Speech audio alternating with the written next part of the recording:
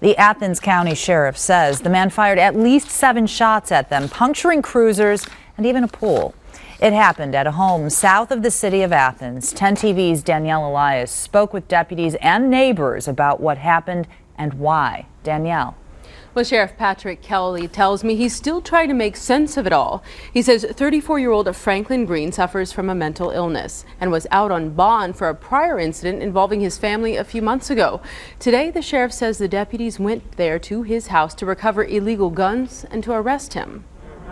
They were looking for Franklin Green. He uh, told me on the telephone that to take my guys out of there because there's no way that he was coming out of there other than that he was going to die here and somebody else was going to die. And the Athens County Sheriff says Green wasn't bluffing. At one point, he was trying to ricochet shots off of the walls to try to hit the deputies. In the aftermath, windows shattered and cars pierced by bullets, including that of Deputy John Morris. We were pinned down behind the uh, armored vehicle. He tells us he was out of his car when it was hit, but his canine Esco was still inside. I didn't know if he'd been hit or not, and uh, so I called his name, and uh, I saw the uh, antennas on my car moving. So uh, you know, at least I knew he was alive.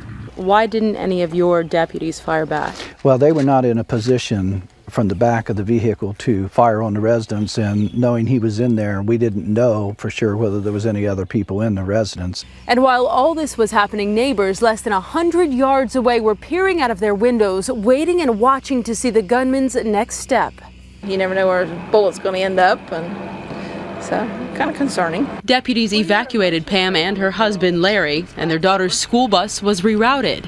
It took several hours to arrest Green, but this couple says they're just glad to see everyone, including their neighbor, make it out alive. And we are told Green is still in the hospital tonight and will be taken straight to court tomorrow morning. Reporting live, Danielle Elias, 10 TV News.